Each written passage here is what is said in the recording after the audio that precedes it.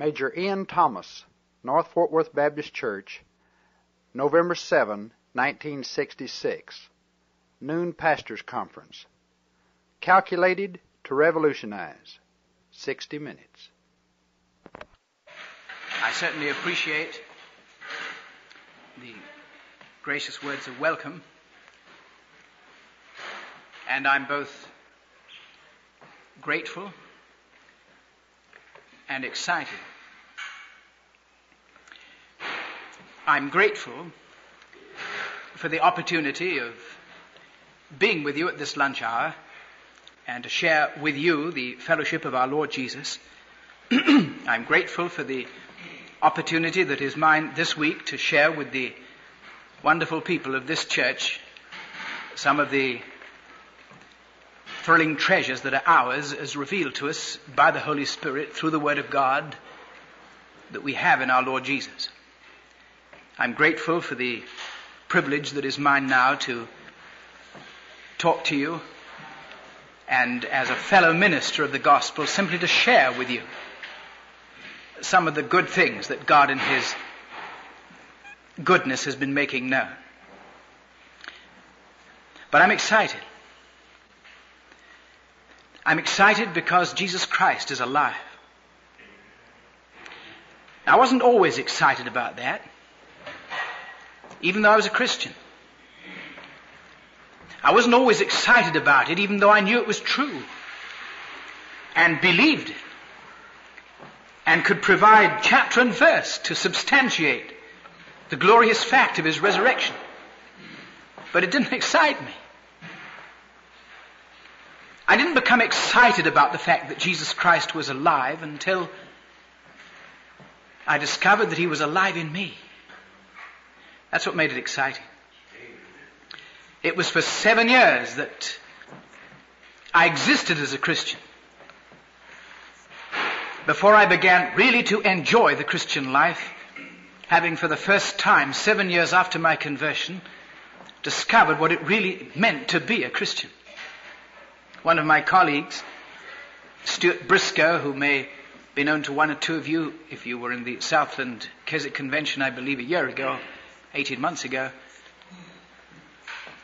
speaking to some of our teenager, teenager youngsters not too long ago, was saying that he had made three major discoveries in the Christian life. In the first instance, when he was converted, he thought the Christian life was easy and found he was wrong. Then he said he thought the Christian life was difficult and found that he was wrong again. And the third discovery that he made was that the Christian life is impossible.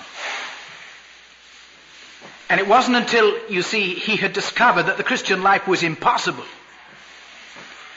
that he became excited about the fact that Jesus Christ was alive.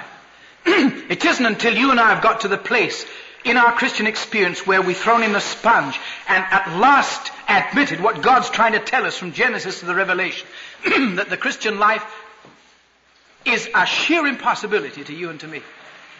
Apart from Jesus Christ Himself. Not till then does the fact that He's alive, risen from the dead, really become relevant to us in our day to day living. And ever since I made that discovery at the age of 19, which was calculated, as many of you too have discovered, completely to revolutionize one's life as a Christian, life has been the sheer adventure that God, I believe, always intended the Christian life to be. That's why I'm happy this, this lunch hour to be sharing with you some of these things. And I don't want, as it were, to preach to you because many of you have many, many years of rich experience in the service of the Lord Jesus. I'm not a pastor. And I wouldn't for one moment presume to try to teach you how to be a pastor because I've never been a pastor. All I want to do is just to share with you some of the good things that are our common heritage in the person of the Lord Jesus who died for us and who rose again from the dead to live in us. some years ago, when I was invited to speak in a church in Rochester, Minnesota, the pastor of the church, whom I'd never met, was given the opportunity just before I was due to arrive to engage in some additional postgraduate studies, so I never met him. But in his absence, the church officers had invited another young pastor to assume certain responsibilities. They had a morning broadcast, a quarter of an hour each morning, at the threshold of the day.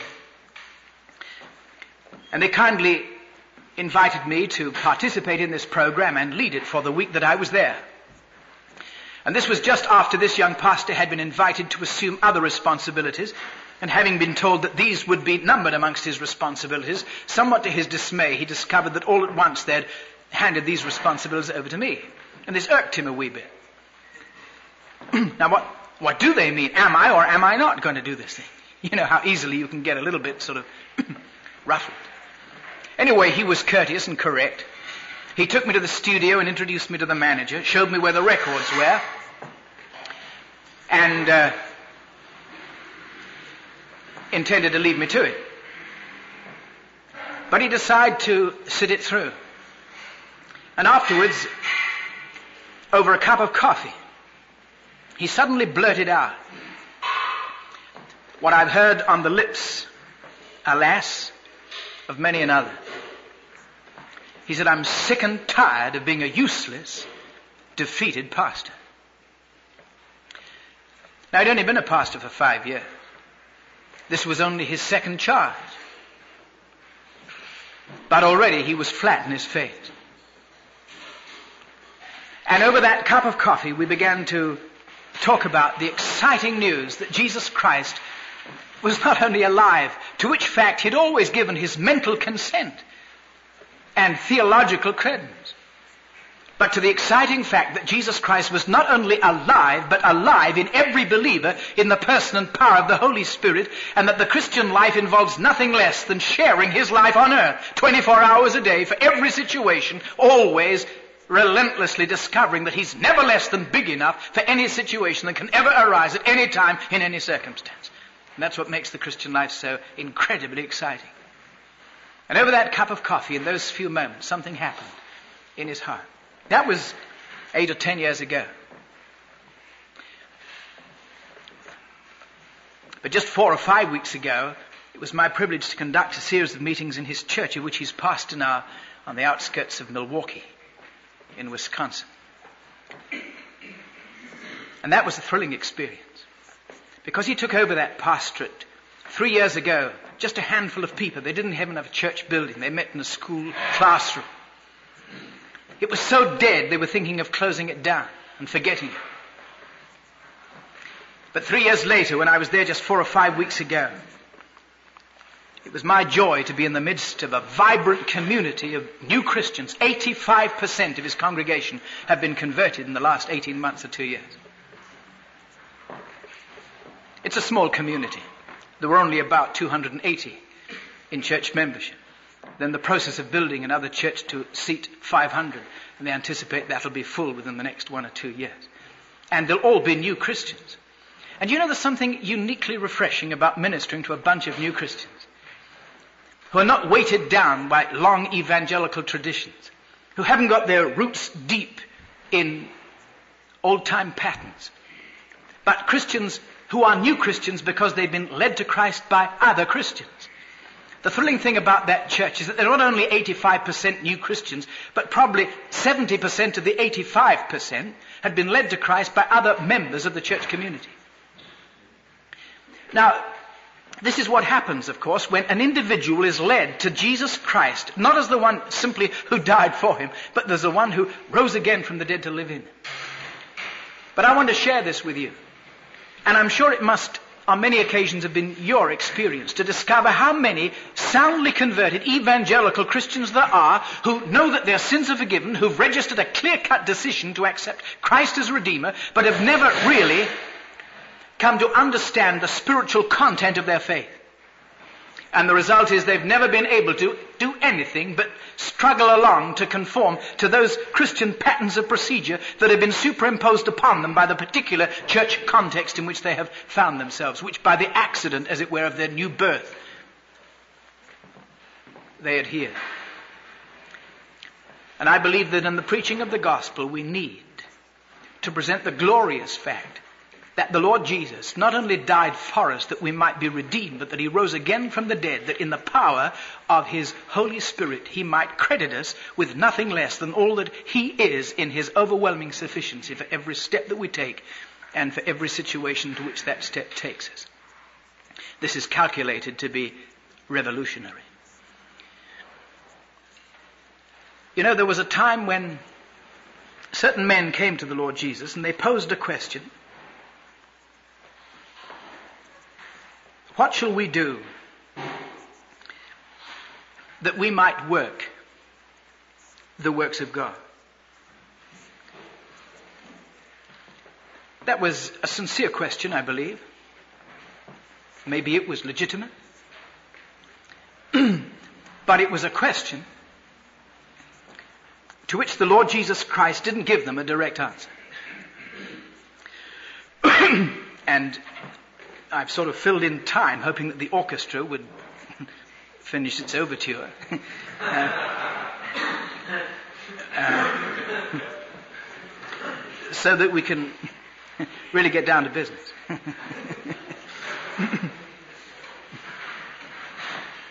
this was the question. What shall we do that we might work the works of God?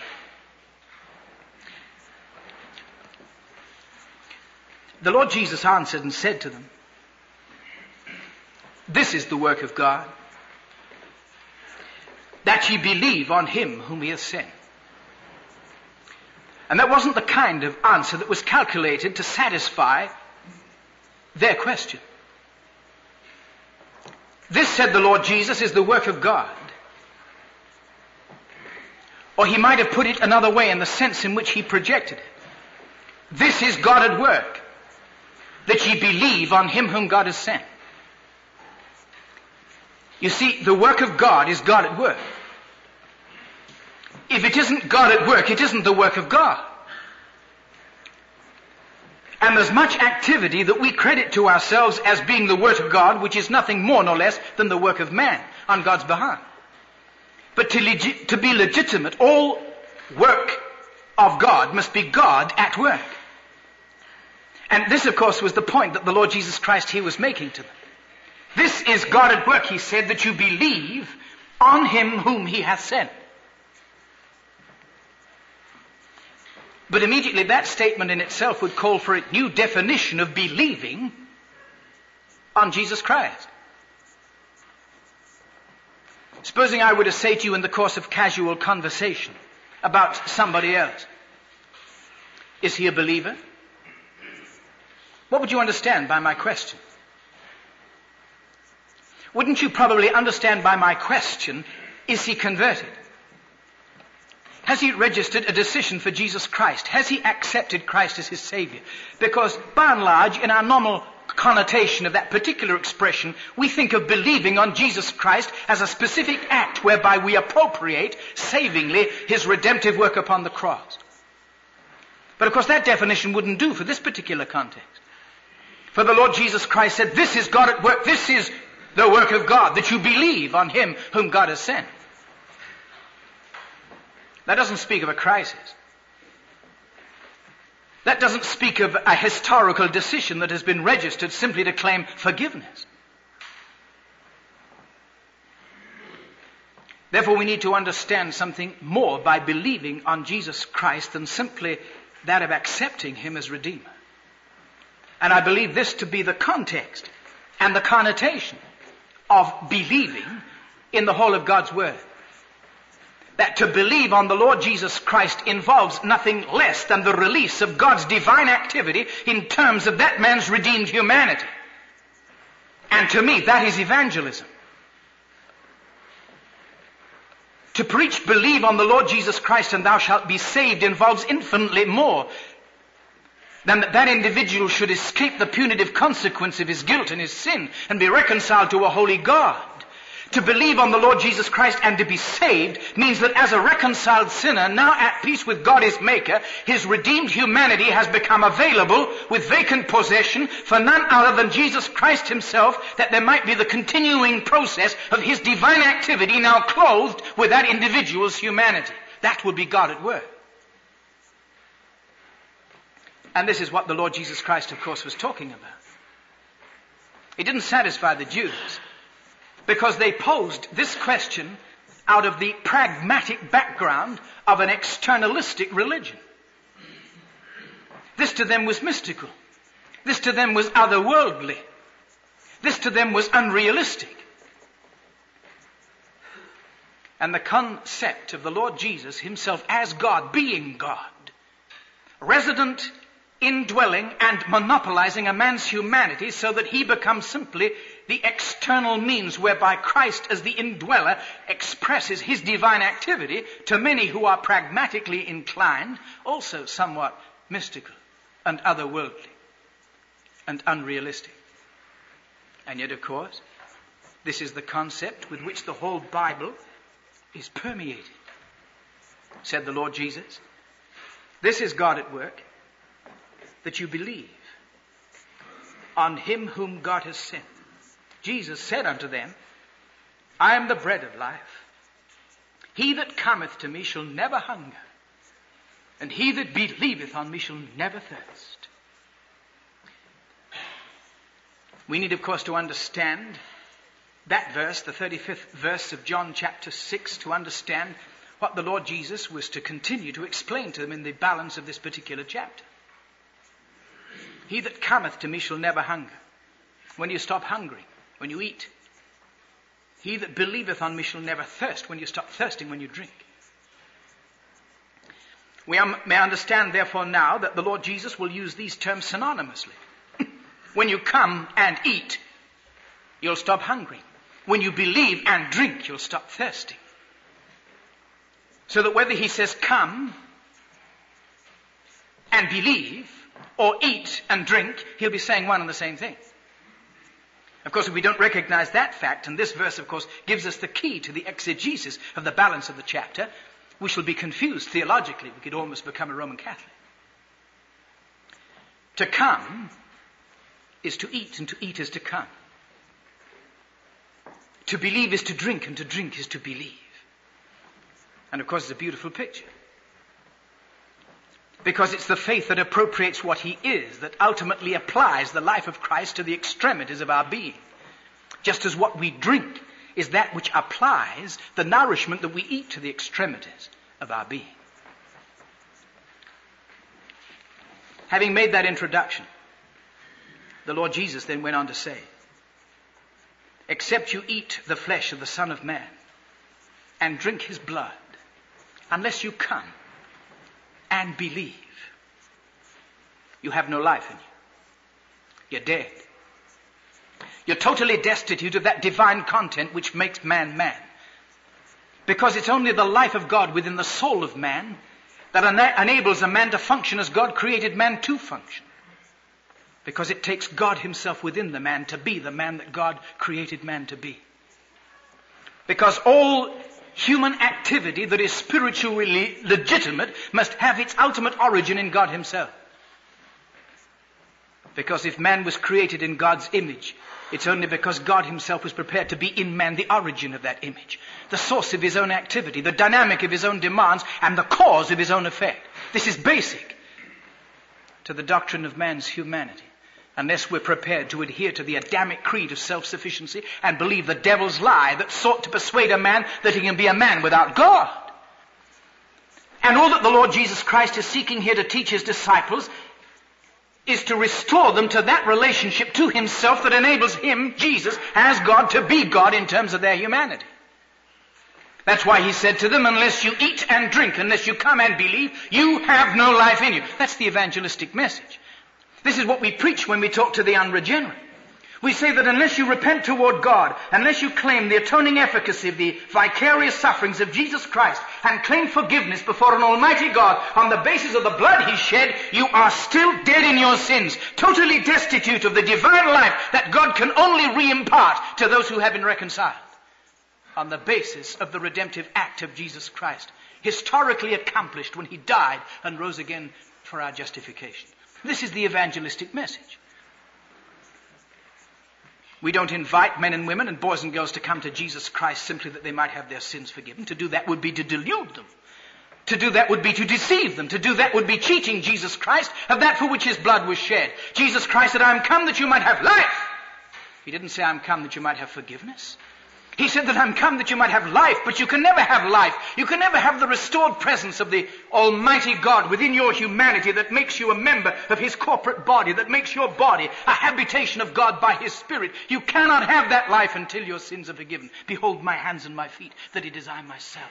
Handle me and see. If you want to know the premise upon which you can be restored to life, this is the premise. The wounds in my hands and feet. That's true, said Jesus, unless you have come in repentance toward God and you have put your faith deliberately and specifically in me. You have no life in you. You're destitute, you're bankrupt, you're dead. You're alienated from the life of God and you're in the condition in which you were born, dead in your sins. Is that true? But is that gospel? Now that's the introduction to the gospel. But from that premise, which is the threshold over which any individual, boy, girl, man or woman must cross if ever they are to be raised out of a state of lifelessness in which all the fallen seed of a fallen Adam were born in their unregenerate condition, dead in trespasses and sins. That's just the baby language of the gospel. And the Lord Jesus, of course, now has turned his attention from the Jews who posed the initial question. And he's now focusing his attention upon his own closest circle of disciples. And he goes on to say this He that eateth my flesh and drinketh my blood, the one who comes to me and by faith appropriates all that I am to whom he has come, dwelleth in me, and I in him. In other words, before you have come and believed, you're dead. You have no life in you. The life of God hasn't been restored to the soul of man.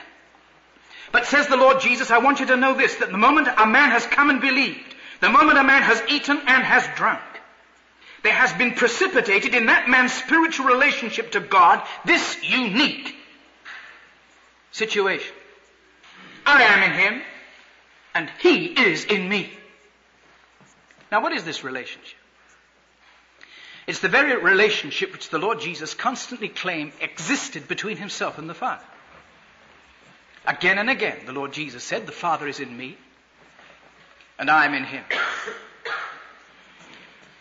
And says the Lord Jesus, when you have come and believed, the relationship that is to exist now between you and me is identically that relationship which exists as between me as a man and my Father in heaven as God. As He is in me and I am in Him, so I am in you and you are in me. And of course, it is to precipitate this amazing relationship between the redeemed sinner and the risen indwelling Lord that we preach the gospel. I wouldn't preach the gospel to get sinners out of hell and into heaven. I rejoice with all the angels in heaven over every sinner who repents and who through the sheer grace of God, through the shed blood of Jesus, is acquitted and to whom God no more will impute iniquity. But in the discharge of my responsibilities to the Lord Jesus, I wouldn't preach the gospel simply to that end.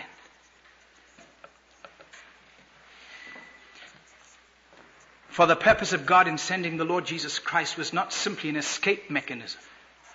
The purpose of God in sending the Lord Jesus Christ into this world to accomplish the redemptive act was that the regenerative purpose of God might be brought, put into operation. The regenerative purpose of God that restores the life of God to the soul of man so that man as man can be man as God intended man to be in the power of the indwelling life of deity. I, said Jesus, am in you and you are in me. And if you want to know, he said, this, uh, what this is going to involve, I'll tell you. It's in the 57th verse. of the same chapter. He that eateth my flesh and drinketh my blood dwelleth in me, and I in him. As the living Father hath sent me, and I live, literally, through the Father, so he that eateth me has come and believed shall live through me. Not just come to life through me, but shall live through me. As the living Father hath sent me, and I live through the Father because I am in him and he is in me, so he that eateth me shall live through me because he is in me and I am in him. Well, I don't need to underline the sheer importance of this statement. The Lord Jesus declares that as the living Father sent him and he lives through the Father, so we, the moment we put our trust in him, are to live through him. Can there be anything more important than that in terms of being the Christian that you've become on the basis of his atoning death? What it means, of course, is this.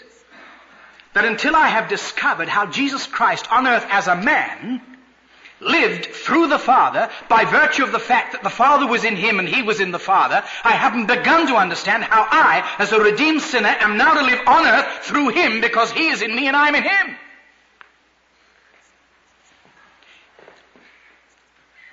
Isn't that true? In other words, if I want to know how to be a Christian, as opposed to becoming a Christian, Priority number one is for me to discover how Jesus Christ as a man 1900 years ago lived on earth as a man. And I think one of the areas in which as an evangelical constituency we have been robbing ourselves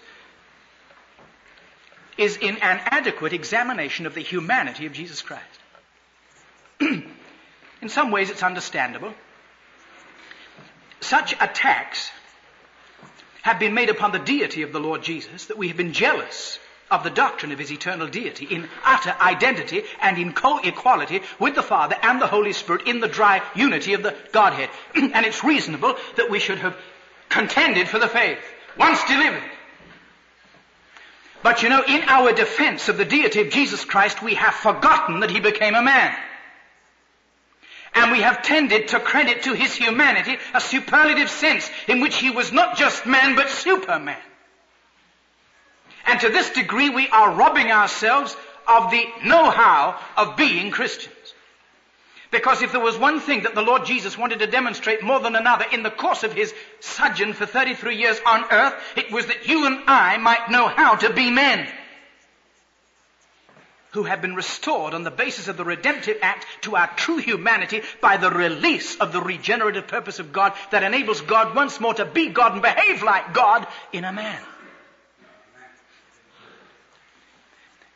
Now, if I preach a gospel that is weaker than that, I will introduce people to the redemptive act of Christ in such a way that they will claim forgiveness and be made fit for heaven and be left thereafter for the rest, the rest of their days on earth, though regular and loyal and dedicated members of a church community totally unfit for earth.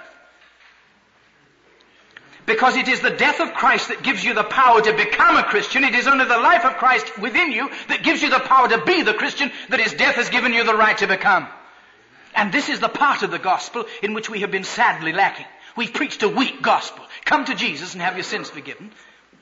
And then Jesus Christ, the historical Jesus who died historically 1900 years ago to accomplish the vicarious atoning sacrifice that makes it possible for guilty men to be at peace with God their Maker, is now relegated beyond the clouds to appear only in eschatological glory one day when we see Him in the far distant future. Or by dint of our physical death when we meet Him face to face in His eternal presence.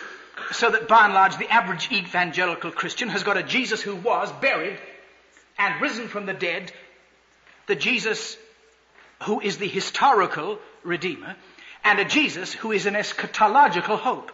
One who one day we shall see in his presence forever in the place that he's going to prepare for us.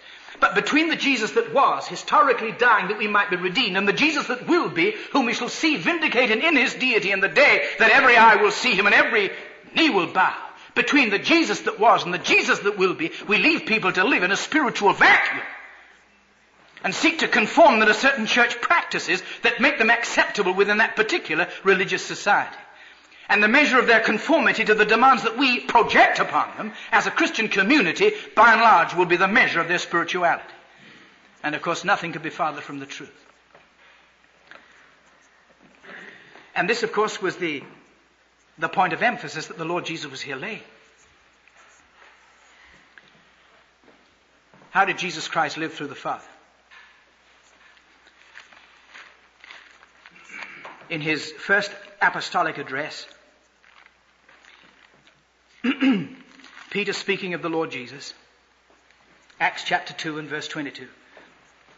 Ye men of Israel, hear these words. Jesus of Nazareth, a man. That's how he introduced him. On the first day of Pentecost, filled with the Holy Ghost. Jesus of Nazareth, a man, approved of God. Now, what's the characteristic of a man approved of God? Jesus of Nazareth, a man approved of God among you by miracles and wonders and signs, which God did. How? By him. Jesus, our man approved by miracles, signs, and wonders which God did by him. As ye yourselves also know. Is Peter in this apostolic address detracting from the eternal deity of Jesus Christ? No. Not one tiny whit. For the Lord Jesus was never less than God, never less than in total and eternal equality in the triunity of deity. But the amazing thing is this, what is so crushingly humiliating, is that the Lord Jesus was prepared, though God, to be and behave like a man. And the characteristic of man as God made man is that only God within the man can be the origin of his own image, source of his own activity, dynamic of his own demands, cause of his own effect. And if Jesus Christ was to be less than a play actor, if his humanity was to be anything other than a mere front, in setting aside those divine prerogatives that make Jesus Christ and God God, he had to submit himself deliberately and voluntarily to those limitations that make man man. And the primary limitation that makes man man is his utter, unrelenting dependence upon God and his willingness to let God be God in him. And the amazing thing is this, this, this was exactly what the Lord Jesus Christ was prepared to do as a man. In the second chapter of the Philippian epistle, let this mind be in you, which was in Christ Jesus. In other words, let this attitude be characteristic of you, which was in Jesus. Because remember, as the living Father sent him and he lived through the Father, so we now are to live through him. So whatever attitude it was that he adopted as a man toward the Father that allowed him to live through the Father has got to be now the attitude that we adopt towards Jesus that allows Jesus to be the one who lives through us. For as he lived through the Father, we are now to live through Jesus. So we need to understand the mind that was in Christ Jesus. We have to comprehend the attitude that he adopted. And what was the attitude that he adopted? We're told this that though being essentially one with God and in the form of God and possessing the fullness of the attributes which make God God, he did not think this equality with God was a thing to be eagerly grasped or retained. But he stripped himself of all privileges and rightful dignity so as to assume the guise of a servant, in that he became like men and was born a human being, and after he had appeared in human form, he abased and humbled himself still further and carried his obedience to the extreme of death, even the death of the cross being essentially one with God, he stripped himself so as to assume the guise of a servant. In the New English translation, we're told that he made himself nothing. In the authorized version, we're told that he humbled himself. In the German translation, we're told that he emptied himself, entäußerte sich selbst. In other words, when Jesus Christ, though God came into this world to become man, he became all that a man is without God. How much is that?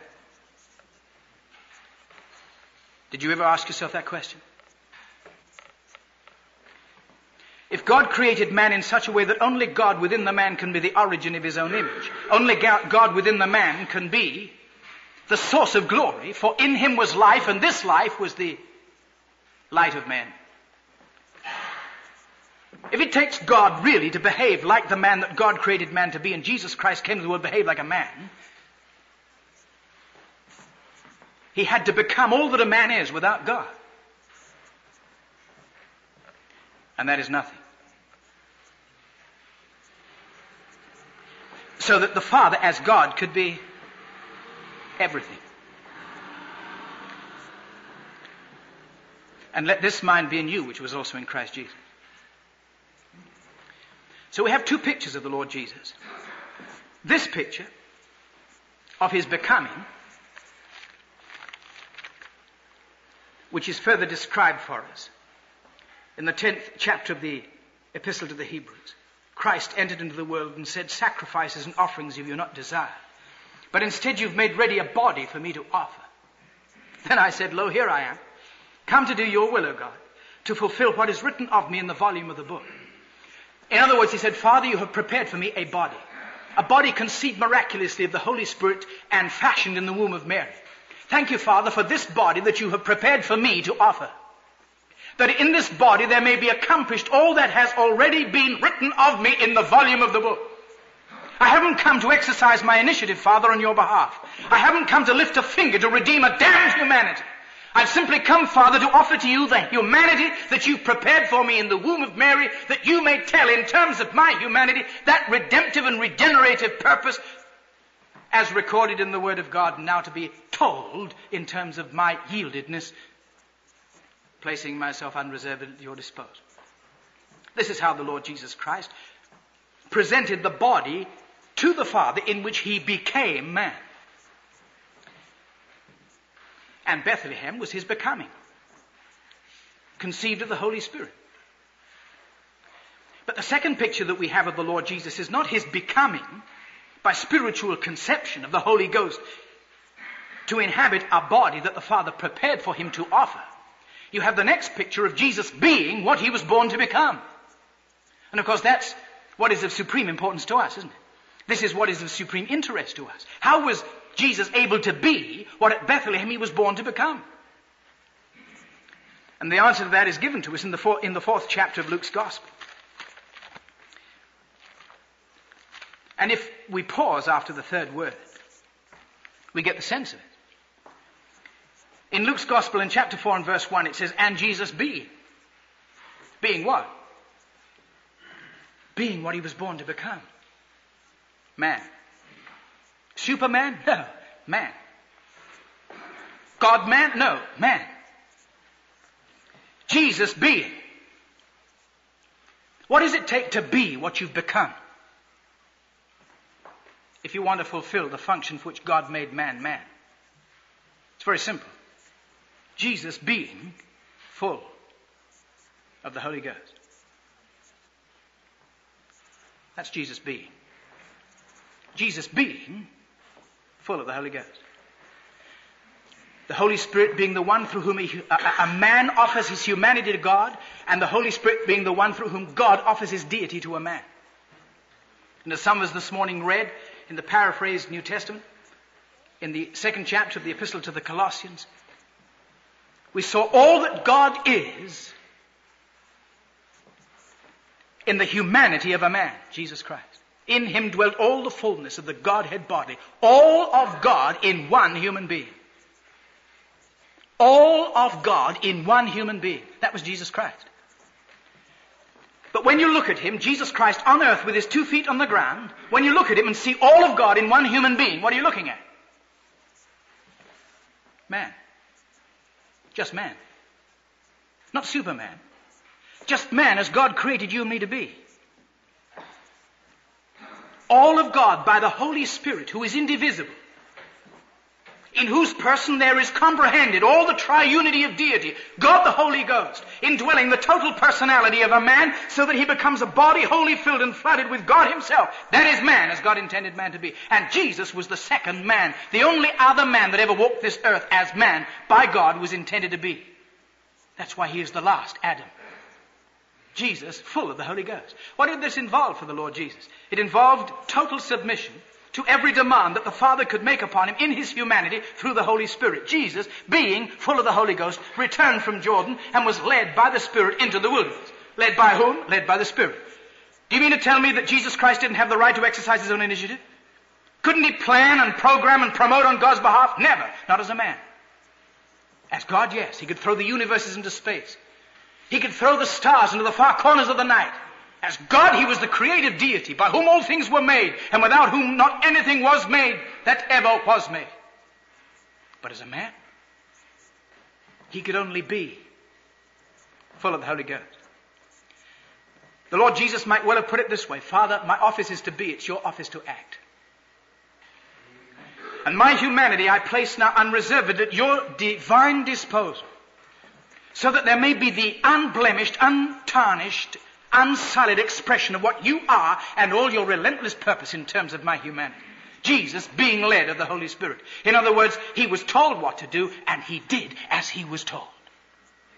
And Jesus says, as the living Father sent me and I live through the Father, he that eateth me is going to live through me.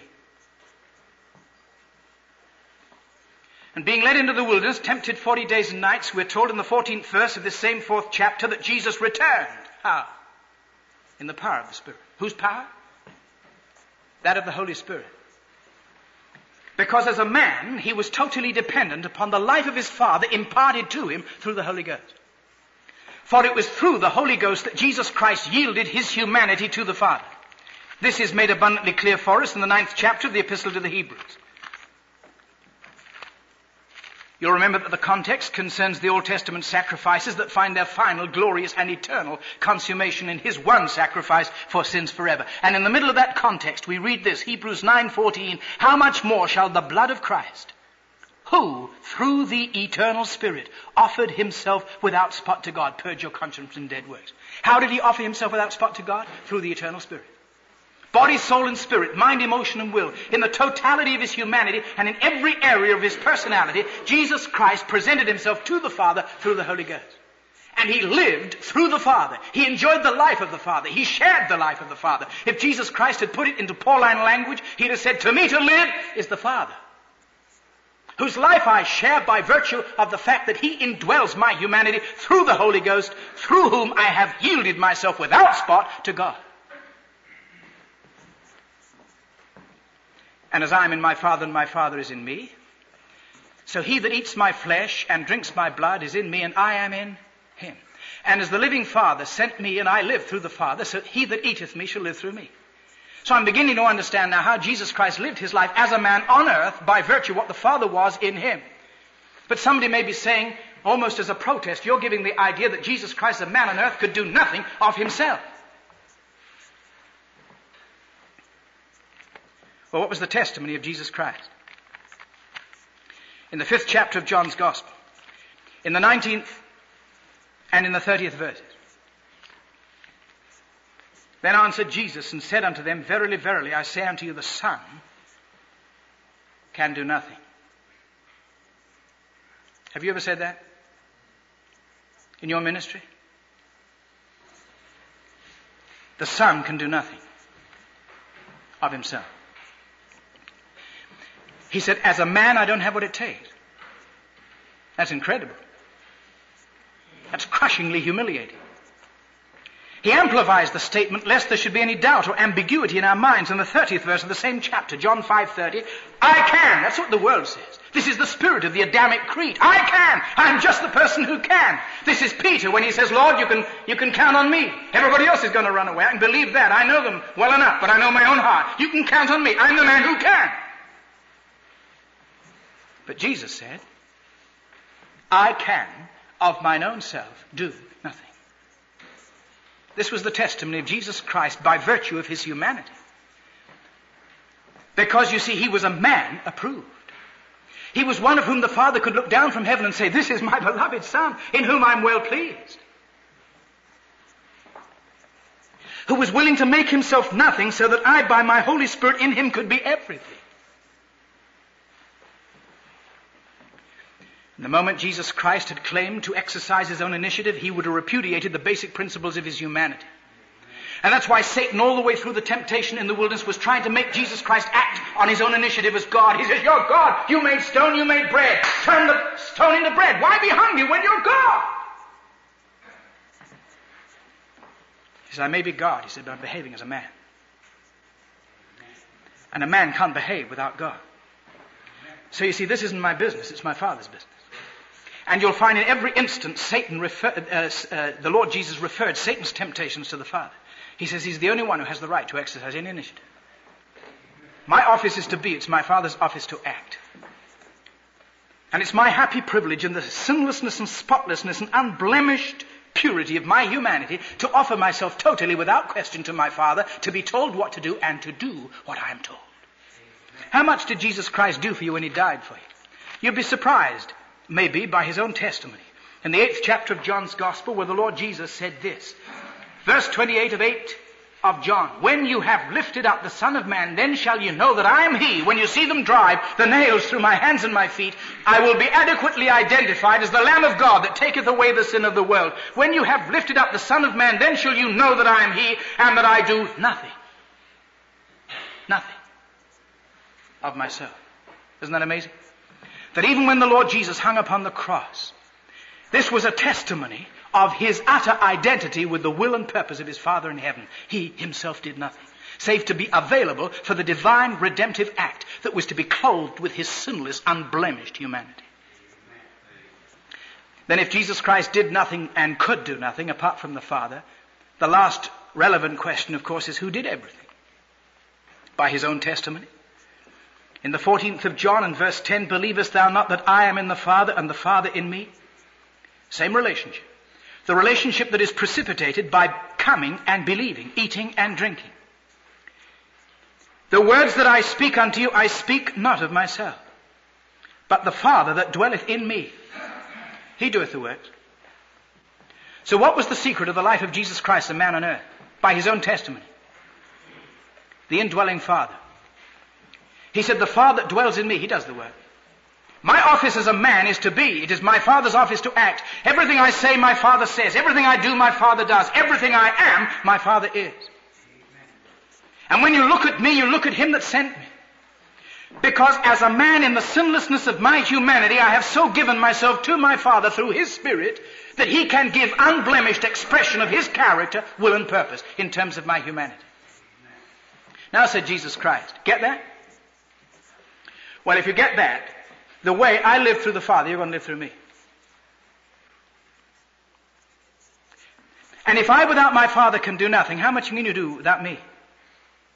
Just precisely as much as I can do without my Father. That's why you have in John 15, 5, I am the vine, you the branches. He that abideth in me and I in him, same relationship.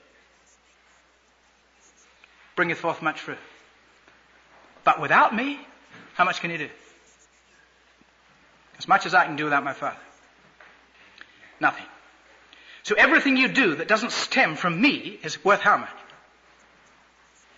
Nothing. And it's amazing how busy you can be for 50 years a pastor doing nothing. And you know that's why there are countless pastors frustrated, broken. There are 200 missionaries at this moment in Los Angeles undergoing psychiatric treatment. Do you know that? And this can be repeated in city after city where pastors and missionaries and those engaged in what is sometimes described as full-time Christian ministry are broken in body and in health and mentally simply because they've never learned the basic content of their faith. It's my privilege to minister to missionaries all over the world, in Africa, in India, in Japan, in Formosa, and to minister to pastors and those who dedicatedly and with immense sacrifice and real sheer enthusiasm and love and sense of loyalty to Jesus Christ have given themselves, but when they are given half a chance to let their hair down, they'll weep their eyes out and say, I'm dry as a bone. I've worked myself to the bottom of the barrel. I've nothing left. I'm empty. Men, this is true. And it's true for only one good reason. We've forgotten that Jesus Christ rose again from the dead. We've defended his deity in such a way we've forgotten to learn anything from his humanity. And we've defended his atoning death in such a way that we've forgotten that he rose again from the dead to live within and inhabit the humanity of those who have been redeemed by the death he died. You and I need not only what he did because of what we've done, we need what he is because of what we are. It's easy enough to be sorry for what you've done and see the relevance of what he did. But what's difficult for proud, pig-headed men like you and me is to be sorry for what we are and see the relevance of what he is. We refuse to die. We're too busy being pastors. We're too busy being famous. We're too busy being evangelists. We're too busy hitting the headlines to take our place with Jesus in death and let God be God. And the kind of Christians we produce are the kind of Christians we are. Empty, flabby gas bags advertising ourselves. And this is the anemia, this is the poverty. You can fill your church buildings. And the more you fill them, the more money you've got to build a bigger one. But I'll tell you this, and I've been warning these folk in this church already. Your next generation of Christians will be as weak as the gospel you preach in the present generation. And unless you're going to preach the kind of gospel that lets Jesus Christ inhabit a man's humanity and lets him be God within that man, I'll tell you this, you'll have your enormous churches in the next generation and they'll be half empty because you'll have nobody who will be concerned to attend them. And you are in trust at this moment by the gospel you preach with the health and vigor of the next generation of Christians. How did this go down? And with this we conclude. And I thank you for your courtesy and your patience. How did this go down actually with the disciples? I want to tell you something. It didn't go down at all well. It went down no better then than it does today. And I want to tell you this if you want big crowds and if you want to be a really popular evangelist, keep off this message. You make your salvation as cheap as you can. Let it just be come to Jesus and have your sins. Let them walk down the aisle and have them in. That's it. And you'll be popular. But please don't preach the kind of gospel that's going to involve God being God in a man's humanity 24 hours a day so that he recognizes intelligently and willingly and voluntarily that he has only one place for which God has credited him the right to occupy, that's death. And that there's only one person whom God recognizes as with the right to live with any redeemed sinner. That's Jesus Christ.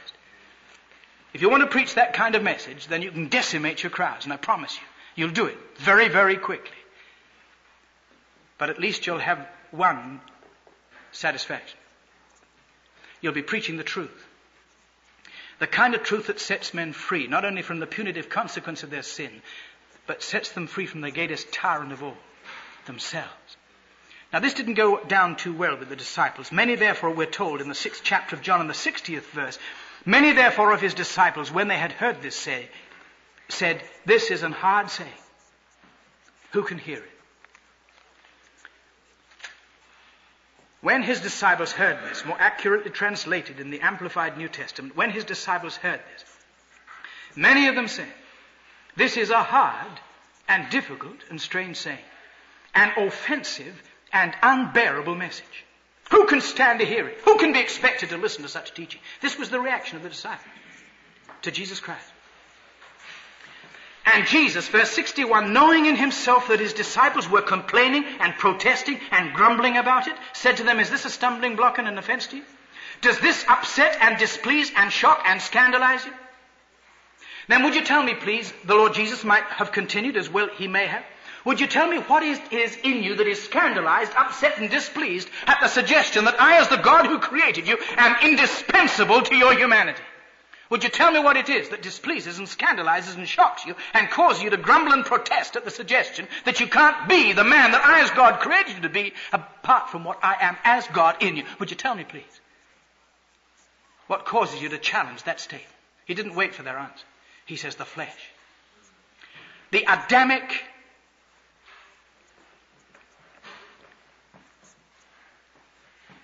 principle of satanic origin that first perpetrated the lie in human experience that a man can be a man without God. The flesh, he said, profiteth nothing. In its arrogant, hostile self-sufficiency, the flesh profiteth nothing. He said, it is the Spirit of the living God alone quickens and gives life. And from that time on, verse 66, many of his disciples, many of his disciples, went back and walked no more with him. There was a wild rush for the door. And you can imagine what the Lord Jesus did when he saw his, when he saw his crowds disappearing that way, rushing for the door, the exit. He flew after them and said, just a minute, half a minute. Let, let's, let's pare things down a wee bit. I'm sorry if I've offended you. Now let's talk this over. Let, us get to a working basis upon which the flesh will have adequate opportunity to stalk across the stage. I didn't realize that you men were simply here to use me as a platform. But of course, I don't want to offend you. Is that what he did? he just waited with his arms full until the dust had settled. And then he looked round. And all he had got left was a handful. Jesus said to the twelve, that's all that was left. Will you also go away? Would you like to go home too? All right. You know now my terms of reference. They didn't understand it. They were baffled. They were bewildered. We know they didn't understand it. Because they didn't want the cross and they didn't believe in the resurrection. They hardly knew what it was all about.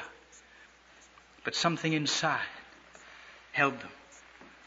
Simon Peter answered, Lord, to whom shall we go? Thou hast the words of eternal life. They baffle us. They confuse us. We don't, we don't make head nor tail of it.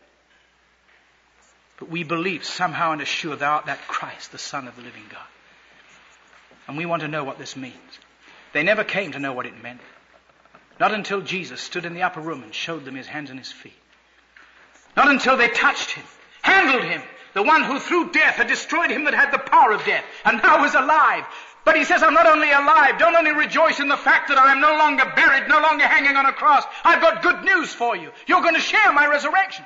Tarry in the city of Jerusalem until you be endued with power from on high, and I'll fulfill the promise that I vouchsafed you as recorded in the 14th of John, that when I have ascended to my Father, we all of us in the triunity of deity in the person of God, the Holy Spirit will come to inhabit your humanity. I will come to you, for I haven't only given myself for you, I have given myself for you so that I could give myself to you, and on the day of Pentecost you're going to enter into the good of it and you're going to be my body, and I'm going to live on earth again, and your hands are going to be my hands, and your lips are going to be my lips, and your mind, my mind to think with, and your heart, my heart to love with, and your lips, mine to speak with, but it'll be my life, simply your humanity. And this is what it means to be a Christian. And I don't know any other kind of gospel. I don't know any other kind of evangelism. I don't know any other kind of appeal that I can make to men, to boys, to girls, or men or women save to come to Jesus, not to receive forgiveness of sins, but to receive what they have in Him, which includes their forgiveness. But the Savior Himself, stepping into their humanity, welcomed by them as guilty sinners in repentance toward God, knowing that on the basis of this, their reconciliation through His atoning death, they're going to embark upon the hilarious adventure of sharing His life through time and on into eternity. That's why it's so exciting to know that Jesus Christ is alive. And alive in you. Lord Jesus, thank you for what you are. Thank you for what you did so that we may enjoy what you are. Thank you for the blood you shed. We didn't deserve your death for us. And we certainly don't le- deserve your life in us. But the amazing thing is that you've given us the right to have both and we daren't enjoy less. Enable us, we pray thee, dear Lord, as those who genuinely love you. Enable us to be faithful to you in the discharge of our trust. And in being faithful to you, be faithful to those to whom we minister. And Lord Jesus, if there's a man here this lunch hour who's weary, tired, who's dedicated, who's sacrificed, who's given himself and spent himself, who's put on a good show, and who doesn't have the opportunity to expose the deep, deep need of his own heart, for every heart knows its own bitterness, but who's whacked and thrashed and beaten, who knows that he's scraping at the bottom of the barrel, who's flattened his face, who can only look back to a history of failure. And yet he's been bravely going on, getting up almost dreading every new day and dreading every time he has to go into the pulpit. God, if there's a man like that, in your mercy, reveal yourself afresh as the one who not only died for that man, but who rose again from the dead to live within him, to share with him your life, your victory, your strength, your power, to make life the sheer, wonderful, thrilling adventure it was always intended to be in telling the good news to a dying, crying world. He's alive! And He's alive in me. And He wants to be alive in you. We ask it for your name's sake. Amen.